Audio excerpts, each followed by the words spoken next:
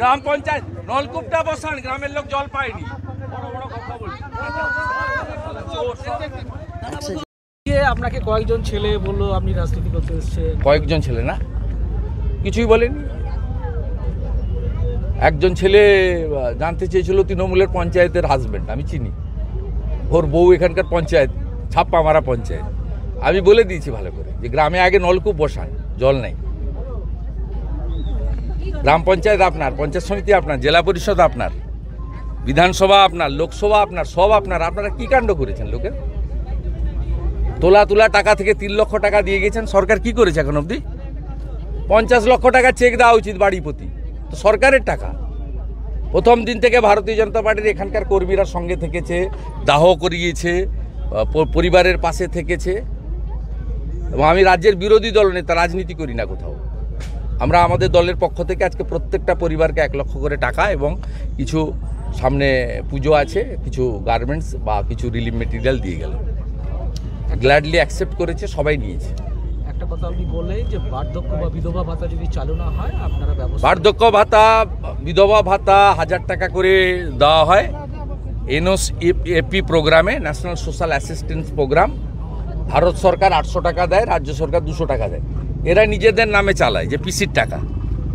এক হাজার টাকার আটশো টাকা দেয় ভারত সরকার, দিল্লি থেকে আসে দুশো। এবং এদের পাওয়া উচিত। এই পরিবারগুলোর সব কিছুই পাওয়া উচিত। যদি না করে তিন মাস পরে আমরা কোনো এনজিওকে দিয়ে ব্যবস্থা করে দেবো ভাতার। আর যতগুলো ছেলে মেয়ে আছে, তাদের পড়াশোনার সব দায়িত্ব আমরা নেব। ভারত সেবাশ্রম সংঘকে বলব দরকার হলে বালিগঞ্জে দিলীপ মহারাজকে রিকোয়েস্ট করব সেখানে আবাসিকে রাখবে তাদের জন্য যে মিনিমাম খরচ আছে আমরা আমাদের দলের পক্ষ থেকে বহন করব সেটা বিরোধী দলনেতা দায়িত্ব নিয়েছে। দুটো আর দুটো প্রশ্ন সেটা হচ্ছে রূপা গাঙ্গুলি গ্রেপ্তার হলেন পাঁচজনই এই ঘটনার পরে অবস্থান বিক্ষোভ তাকে টেনে টেনে নিয়ে গেলেন বললেন যে আমার রূপা গাঙ্গুলি মহোদয় একজন লড়াকু নেত্রী তিনি সারা রাত্রি ধরে থানায় ধর্ণা দিয়েছেন অবস্থান করেছেন প্রতিবাদ করেছেন গণতান্ত্রিকভাবে শান্তিপূর্ণভাবে।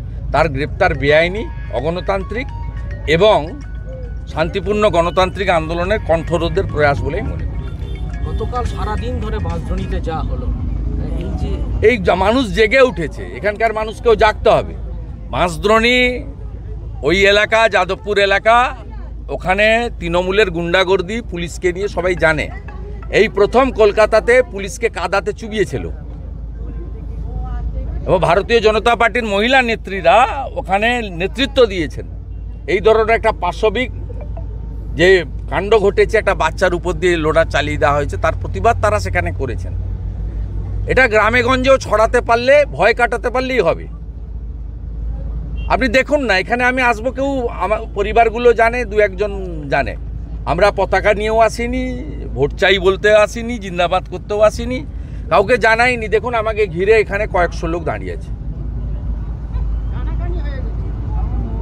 গোটা রাস্তা জুড়ে দেখুন মহিলারা দাঁড়িয়ে আমাকে রিসেপশন করেছে, আমিও ওদের সঙ্গে দাঁড়িয়ে দাঁড়িয়ে কথা বলতে বলতে এলাম। এইটা হচ্ছে মানুষের অরিজিনাল অভিব্যক্তি। মানুষ এই এই যে পাশে, ধারে পাশে মানুষ না এরা মুক্তি চায়, শুধু ভয়ে আছে। কারণ তৃণমূলের সঙ্গে গুন্ডা আছে, আর গুন্ডারা না পারলে পুলিশ আছে। এখানকার ভারতীয় জনতা পার্টির প্রত্যেকটা কার্যকর্তাকে দু মাস, তিন মাস করে জেল খাটানো হয়েছে। অসংখ্য মিথ্যা মামলায় তারা জর্জরিত। গতকাল রাজধানীতে এক ভদ্রলোক এসে পুলিশের হয়ে পরিচয় দিয়ে প্রথম এলেন তারপরে যারা আন্দোলনকারী তাদেরকে মারধর করে। সে তো ফুটবলের মতো ছুটছিল একবার ওদিকে একবার এদিকে। পরে বললাম আমি খেলায় না পড়লে বিড়াল গাছে উঠে না। বলছে আমি বিজেপি। তারপরে তারপর বলছে আপনি কি করেন? বলো আমি বিজেপি সে তো তৃণমূলের নেতা। বিজেপি বলছিল যাতে পালিয়ে যায়।